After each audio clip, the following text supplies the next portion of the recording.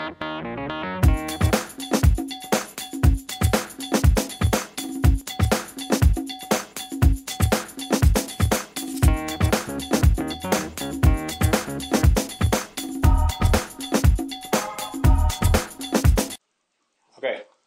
this is quick review. Um, something a little different. It's not a product actually. Um, these are homemade. Uh, the wife was making little chocolates for our uh, friends' Christmas dinner. Friends being we had our friends over for just friends' Christmas dinner.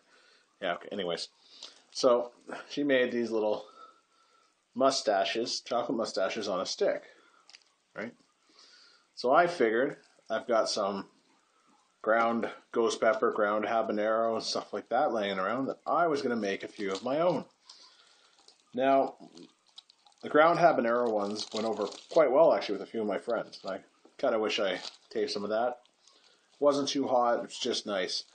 So, none of them would try the ghost pepper. You can smell the ghost pepper as soon as you put it near your face, like the ghost pepper ones. Now, I put quite a bit in there. So, let's give it a try. Well, here. There, see.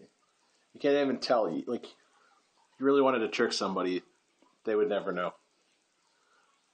But don't do that. Well, I wouldn't do that. Of course not. Mm.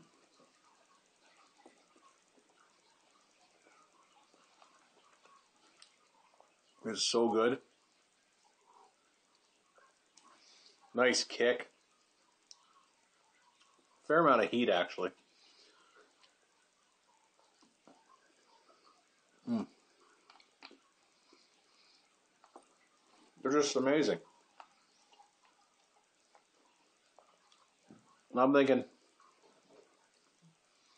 might make some of these next year and sell them in time for uh, November you know, Movember. And uh, we'll see where it goes from there. Mm. Definitely really good. Definitely going to make more of these. Anyways, we're going to just throw it up there. Um, thanks for watching. Like, share, subscribe. And until next time.